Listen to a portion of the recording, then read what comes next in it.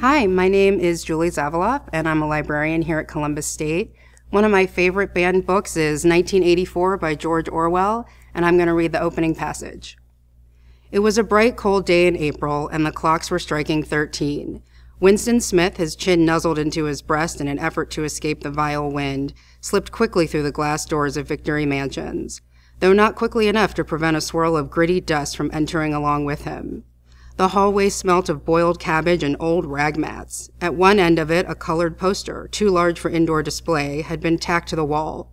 It depicted simply an enormous face, more than a meter wide, the face of a man of about 45 with a heavy black mustache and a ruggedly handsome features.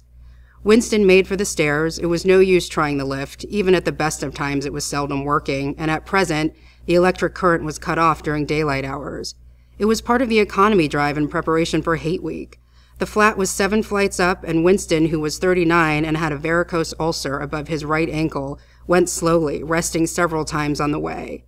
On each landing, opposite the lift shaft, the poster with the enormous face gazed from the wall. It was one of those pictures which are so contrived that the eyes followed you about when you move. Big Brother's watching you, the caption beneath it ran.